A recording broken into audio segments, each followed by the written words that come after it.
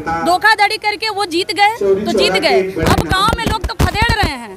गाँव में तो नहीं टिक रहे हैं। गाँव में जा रहे हैं तो सिपाही लेके जाते हैं। और ऐसा है कि बुलडोजर उन्हीं पे चलाते हैं जो भारतीय जनता पार्टी से नहीं जुड़ा है। सारे माफिया चाहे आप ब्रिजभूषण शरण सिंह की बात कर लीजिए चाहे तमाम और भी ऐसे माफिया हैं। बांसगांव के सांसद तो और बड़े भू माफिया हैं। जैसा कि आज 13 मई है और यहाँ पे श्रवण कुमार निराला जो अंबेडकर जन मोर्चा के प्रत्याशी हैं अभी नामांकन करने जा रहे हैं। क्या है पूरा मामला और ये जो नामांकन करने जा रहे हैं, इनके पास क्या मैनिफेस्टो है, इन सारी चीज़ों को लेकर के हम चर्चा करेंगे। आज 13 मई है और अंबेडकर जन मोर्चा के प्रत्याशी हैं श्रवण कुमार निराला जी। बांसगांव लोकसभा क्षेत्र से इन्होंने अपना नामांकन करने करने जा रहे हैं और क्या है उनके मुद्दे, किन मुद्दों के तहत वो जनता के बीच में जा रहे हैं क्या उनके मैनिफेस्टोज में- मेंशन है अन्य पार्टियों से ये कैसे अलग हैं इन सारे विषयों पर हम लोग चर्चा करेंगे। फ़िलहाल हमारे साथ एक व्यक्ति हैं इनसे हम लोग कुछ बात करते हैं। क्या नाम है आपका? सर हमारा नाम आशीष जॉन है मैं महानगर अध्यक्ष हूँ अंबेडकर जन मोर्चा का। क्या है अंबेडकर जन मोर्चा? चूँकि ऐसा लग रहा था कि पहले श्रवण कुमार निराला बसपा के साथ हैं और आज अंबेडकर जन मोर्चा में चले गए। सर अंबेडकर जन मोर्चा की मैं परिचय दे दूँगा आपको। चार साल हो गया अपने संगठन को। लगातार इस संगठन ने गरीब मजलूमों, लाचारों की आवाज़ बन के काम किया। सत्रह अक्टूबर का आप आंदोलन अगर आप रहे होंगे तो जाने होंगे। गोरखपुर के इतिहास का सबसे बड़ा आंदोलन हमने किया था, जो कमिश्नर कार्यालय के सामने हुआ था। लाखों लोग अपने दर्द को, तकलीफ़ को, अपनी पीड़ा को लेके उस आंदोलन पर बैठे थे और ये सरकार से लोहा ले रहे थे। इस तरह की तमाम लड़ाइयाँ, फिर चाहे वो बुसवल कांड देखिए, जब किसी बहन बेटी के साथ दुष्कर्म हुआ था तो ये भारतीय जनता पार्टी के लोग जो है उनका सपोर्ट कर रहे थे। उस समय भी माननीय श्रवण कुमार निराला जी सामने खड़े रहे और पीड़ित को न्याय दिलाने का काम किए हैं। उस समय जो मूवमेंट चल रहा था, वो कहीं ना कहीं आंदोलन को दबा दिया गया था और उसमें गिरफ्तारियाँ भी हुई थी। इस संदर्भ में कुछ बताएँगे? गिरफ्तारी तो देखिए, हर वो शख्स जो मजलूमों की आवाज़ बनता है और जो जनता का नेतृत्व करता है, जनता की आवाज़ को बुलंद करता है, उनकी तकलीफ़ और पीड़ा से राहत दिलाना चाहता है, ये सरकार जो झूठों की सरकार है, जो धांधलेबाजियों की सरकार है, ये सरकार उसको बंद करने का काम करती है, उसको गिरफ़्तार करके जेल भेजने का काम करती है, ताकि इनकी तानाशाही जो है, वो बरकरार रहे। बड़ी बात ये बोल रहे हैं कि सरकार तानाशाही पे उतर गई है और कहीं ना कहीं कुछ न कुछ ऐसे स्टैंड ले ले रही है जिससे एक डर और भय का माहौल पैदा हो रहा है। जी, बिल्कुल, ये सरकार जिस तरह से लगातार आप देख सकते हैं, अभी मैं कुछ महीने पहले को आपको कांड बता दूँ, जब बुसवल में एक बच्ची के साथ दुष्कर्म हुआ था, उस वहाँ के जो बांसगांव के जो सांसद जी थे, वो दुष्कर्मियों के साथ खड़े थे। माननीय श्रवण कुमार निराला जी, जो कि किसी पद पे नहीं है, ना ही वो कभी सांसद रहे, कभी मंत्री रहे, ना ही कभी विधायक रहे, उन्होंने लोहा से लोहा लेने का काम किया और जो पीड़ित, पीड़िता थी, उसको न्याय दिया, उसके परिवार को न्याय दिलाया, ऐसे तमाम आपको हम गिना सकते हैं, कलानी में और भी तमाम गाँव में जहाँ अपराध की संख्या बढ़ी और जहाँ दलित समाज को या पिछड़ों को या किसी भी व्यक्ति, विशेष वर्ग, कुल जाति समुदाय के लोग में उत्पीड़ा या परेशानी आई तो माननीय श्रवण कुमार निराला जी, उनकी आवाज़ बुलंद करने का काम किया और लगातार कर रहे हैं। आपको याद दिला दें कि संजोग से बाबा मुख्यमंत्री योगी आदित्यनाथ का गृह जनपद है और ऐसा बताया जाता है कि जो भी माफिया टाइप के लोग हैं या माफिया हैं, उन पर दहाड़ करके बाबा बुलडोजर चला देते हैं। ऐसा है कि बुलडोजर उन्हीं पे चलाते हैं जो भारतीय जनता पार्टी से नहीं जुड़ा है। सारे माफिया, चाहे आप ब्रिजभूषण, शरण सिंह की बात कर लीजिए, चाहे तमाम और भी ऐसे माफिया हैं, बांसगांव के सांसद तो और बड़े भू माफिया हैं जो है, तमाम प्रॉपर्टियों पे कब्जा करते हैं, पैसे होप पनेसिया हॉस्पिटल पर कब्जा करने गए थे तो पब्लिक इनको भगा दी थी। तो भारतीय जनता पार्टी के जो नेतृत्व कर रहे हैं नेता, ये खुद माफिया हैं। और उन लोग पे जो वॉशिंग मशीन की तरह काम करती है भारतीय जनता पार्टी इसमें इसके वॉशिंग मशीन में जो आएगा वह धुल के साफ़ हो जाएगा इस तरह काम करती है। सबसे ज़्यादा माफियाओं का संरक्षण तो भारतीय जनता पार्टी में हो रहा है। चलिए हमसे बात करने के लिए बहुत बहुत धन्यवाद। बहन सीमा गौतम आज निश्चित तौर पर अंबेडकर जन मोर्चा के लिए बड़ा दिन है कि श्रवण कुमार निराला फिर से नामांकन करने जा रहे हैं। क्या कहेंगे इस मौके पे भारत में सरोज कुमार निराला जी जीतेंगे। इतना भरोसा है? भरोसा है ये भरोसा हम नहीं कह रहे भरोसा ये जनता के ले देख करके कह रहे हैं। ये पूर्वांचल का पहला ये इतिहास का पहला पर्चा दाखिला है जो सरवण कुमार निराला जी के लिए डेढ़ सौ से ज़्यादा गाँव के लोग आए हुए हैं बाँस गाँव क्षेत्र से।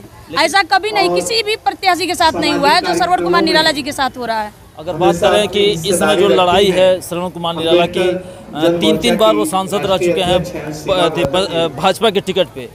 दोबारा उनको टिकट मिला है तो कितना चुनौतीपूर्ण रहेगा ये? उनका उनका कोई चुनौती ही नहीं ना। अभी अपने अगर व्यक्तिगत नाम पे अगर चुनाव लड़ेंगे तो सौ वोट नहीं मिलेगा। सौ वोट नहीं मिलेगा। अगर श्रवण कुमार निराला जी निर्दल लड़ रहे हैं और आप देखिए जनता देखिए। समाज देखिए कि मतलब कितने लोग डेढ़ सौ से ज़्यादा गाँव के लोग उनके उनके पर्चा दाखिला में शामिल हुए अभी लोग आ ही रहे हैं। तो उनका कोई नहीं है बस पार्टी है। धोखाधड़ी करके वो जीत गए तो जीत गए। अब गाँव में लोग तो खदेड़ रहे हैं। गाँव में तो नहीं टिक रहे हैं। गाँव में जा रहे हैं तो सिपाही लेके जाते हैं। और सरोड़ कुमार निराला जी को देखिए कि उनके सिपाही उनके माँ बहन भाई साथी सहयोगी ही हैं और उनके बीच में है। कोई भी नेता जनता की वजह से ही बड़ा बनता है और निश्चित तौर पर अगर नेतृत्व करने की बात करें तो कहीं ना कुमार निराला का एक अलग नाम आता है। मैडम अगर बात करें जो सरकार की नीतियाँ हैं जो बता रही है कि हमने अस्सी करोड़ लोगों को रोज लेके राशन दिया लगातार हम राम मंदिर बनवा दिए पैंतीस ए लगा करके समाप्त करके हमने कश्मीर को स्वतंत्र कर दिया। तो ये सारी चीज़ें काम करेंगी कि नहीं? ये बताइए, वो जो 80 करोड़ जनता को राशन देने की बात कर रहे हैं, वो 80 करोड़ जनता को रोज़गार, बेरोजगार बना दिए, भिखारी बना दिए, वो गुलाम बना दिए। 80 करोड़ लोगों को उन्होंने नौकरी तो नहीं दिया। 80 करोड़ लोगों को उन्होंने शिक्षा तो नहीं दिया। आप बताइए, कलम, किताब जितने भी ले लीजिए, दस रुपया की पेन लेने जाएँगे तो उस पर भी आपको जीएसटी देना पड़ रहा है। ये पहले भारत का पहला एक देश है, जहाँ पे किताबों पे पेन लग जहाँ पे जीएसटी लग देखिए, सरकार जो है, जुमलाबाजी की है। राम मंदिर की बात आप कर रहे हैं। राम मंदिर से राम मंदिर में चढ़ाएँगे क्या? अगर रोज़गार नहीं रहेगा तो चढ़ाएँगे क्या? दो करोड़ नौकरी का वादा किए थे मोदी जी। और क्या किया जो शिक्षा मित्र हैं उनका भी चालीस हज़ार मिलता था दस हज़ार पे मजबूर कर दिए। तो आप नौकरी की बात कहाँ कर रहे हैं? राम मंदिर की बात क्या कर रहे हैं? मंदिर मस्जिद। मंदिर मस्जिद अगर छोड़ दिया जाए हिंदू मुस्लिम छोड़ दिया जाए तो उनके पास कोई काम ही नहीं है। बस उन्होंने एक काम किया है बहुत बाखूबी किया है बहुत मजबूती से किया है कि समाज को आपस में लड़ाने की बात किया हिंदू मुस्लिम किया है। हिंदू मुस्लिम करके लोगों को बांटने की काम किया है। और जब ज़रूरत पड़ती है तो दलितों की, बस दलित दलित हिंदू कर देते हैं। बस उन्होंने जातिवाद फैलाया है और कुछ काम नहीं किया है। निश्चित तौर पे अगर भाजपा की बात करें तो उन्हें म से महँगाई तो नहीं दिखाई देती है ब से बेरोजगारी तो नहीं दिखाई देती है, लेकिन कहीं ना कहीं जातीय नफरत और हिंसा ज़रूर फैलाने का काम अंतिम तौर पर मैं आपके चैनल के माध्यम से सारी बाँस गाँव के सभी जनता से मैं अपील करूँगी कि सरोवर कुमार निराला जी पिछले तीन साल से समाज के लिए लड़ रहे हैं। समाज के लिए वो दो दो बार जेल भी गए, समाज के लिए वो उनका घर सीज हुआ, फिर भी समाज के लिए, समाज के अधिकार के लिए, समाज के बच्चों के भविष्य के लिए, वो कभी भी हार नहीं माने सरकार के सामने। आज भी वो समाज के लिए लड़ रहे हैं इसलिए सरवर कुमार निराला जी को ज़्यादा से ज़्यादा भारी संख्या में आप मत वोट दीजिए वोट दे करके उनको विजयी बनाए। धन्यवाद। क्या नाम है आपका? सीमा गौतम।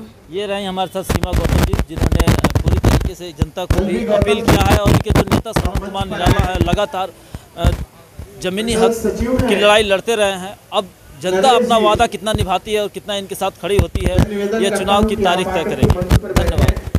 ये अंबेडकर जन मोर्चा के राष्ट्रीय अध्यक्ष हैं श्रवण कुमार निराला जी। अब पर्चा दाखिला करके आ रहे हैं। आइए हम लोग इनसे बात करते हैं। किन मुद्दों को लेकर जनता के बीच में जा रहे हैं? जनता के बीच में मुद्दे ही मुद्दे हैं। अगर मैं सांसद बनता हूँ तो उत्तर प्रदेश की जनता, पूर्वांचल के साथ बांसगांव की जनता के साथ साथ उत्तर प्रदेश के जितने भी गरीब, भूमिहीन लोग हैं वो हर परिवार को हम एक एकड़ ज़मीन दिलाएँगे ये हमारा पहला मकसद है। अभी तक आप बांसगांव जो कि आरक्षित सीट है लगातार प्रचार कर रहे थे बसपा के टिकट पर और एन मौके पर आपका तो टिकट काट दिया गया। टिकट काट दिए तो बहन जी बताएँगे क्यों काटी? क्योंकि जिस आदमी को बहन जी ने टिकट दिया है वो भाजपा का भेजा हुआ दूत है जो बहुजन समाज पार्टी में आया हुआ है। क्योंकि इसके पहले वो मोहन भागवत की जन्मदिन पर मिठाइयाँ बांट रहा है नरेंद्र मोदी के सबका साथ सबका विकास का पोस्टर लगा रहा था सब फिर सपा में गया। तो कुल मिला वो भाजपा का भेजा हुआ दूत है बहुजन समाज पार्टी में टिकट बहन जी ने क्यों दिया है बहन जी बताएँगी। जहाँ तक 400 पार का नारा दे रही है भाजपा इसमें कितनी सत्यता नज़र आ रही है? 400 पार अगर नारा दे रही है तो हँसी आ रही है। जितने भाजपा के प्रत्याशी प्रचार करने जा रहे हैं तो गाँव में जनता उनको दौड़ा के मार रही है। आप देख रहे हैं ना कि कमलेश पासवान को किस तरह से जनता गाँव में दौड़ा रही है। अभी भाजपा के मंत्री को लोग गाँव में दौड़ा के मार रहे हैं। कोई भी जो भाजपा का प्रत्याशी है बिना पुलिस के वो जो है वो प्रचार करने नहीं जा पा रहा है। तो जनता तो इस बार इनको खदेड़ रही है और बांसगांव में श्रवण कुमार निराला जीतेंगे और श्रवण कुमार निराला एक जीत का इतिहास अपील करेंगे लास्ट तौर पे? संघर्ष के आधार पर मैं जनता से अपील करूँगा मेरा साथ दें। जो बरसाती मेढक हैं जो चुनाव में सिर्फ़ दिखते हैं चुनाव के पहले नहीं दिखते हैं अ, उन लोगों को जवाब देने की ज़रूरत है और एक तरफ़ गरीब का बेटा है एक तरफ़ धन पशु लोग हैं जो इस चुनाव में मैदान में हैं।